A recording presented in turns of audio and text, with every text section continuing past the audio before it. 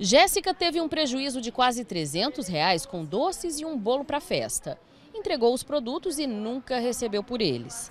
Eu tentei passar o cartão de crédito dele cinco vezes na minha maquininha, não consegui. Ele falou: então eu vou fazer uma transferência para você. Ele pegou os meus dados, provavelmente ele fez um agendamento, porque o dinheiro nunca caiu. O homem que aparece nas fotos é Rogério Ribeiro Campos. Ele é o dono do buffet e seria também responsável por golpes em dezenas de fornecedores que trabalham com festas e eventos. Quando eu caí a ficha que eu levei um golpe, eu comecei a pesquisar nas redes sociais, joguei o número dele, achei outros comentários de outras pessoas que levaram outro, outro golpe né, por ele, o mesmo nome, a mesma empresa. O foco do golpista são as festas de aniversário e os casamentos. Segundo as vítimas, ele já agia há pelo menos dois anos. Em alguns casos, quem ficava no prejuízo eram os fornecedores, que entregavam os produtos ou serviços e não recebiam o pagamento. Em outras situações, o próprio cliente que contratava o buffet era o lesado. Ele pagava pela festa, mas não conseguia nem realizar o evento.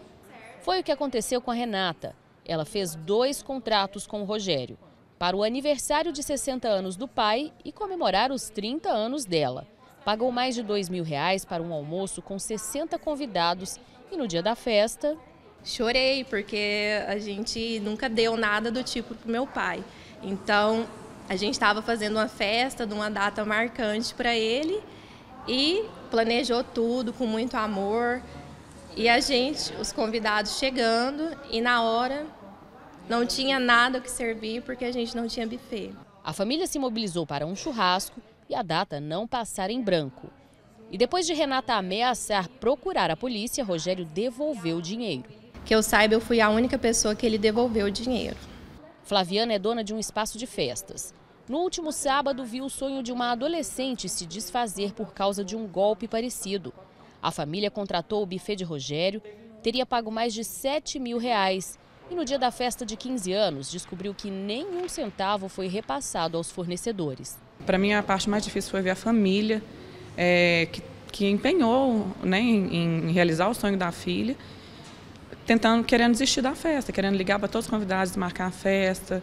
Isso para mim foi muito sofrido, assim, sabe? Eu nunca tinha vivido isso no meu espaço de eventos, nunca. O delegado que apura as denúncias orienta as vítimas a registrar boletim de ocorrência e levar para a polícia mais informações que ajudem a colocar o estelionatário na cadeia. Comprovante de pagamento que eles realizaram, né, o, efetivamente o pagamento pelo serviço que não foi prestado, é o contrato né, que estipula essa da, a data que deveria, o serviço deveria ser prestado, bem como algumas conversas de WhatsApp, algum outro aplicativo, né, ou por e-mail que essa pessoa manteve com, com esse fornecedor, para que a gente tenha elementos para poder investigar uma possível prática de estelionato.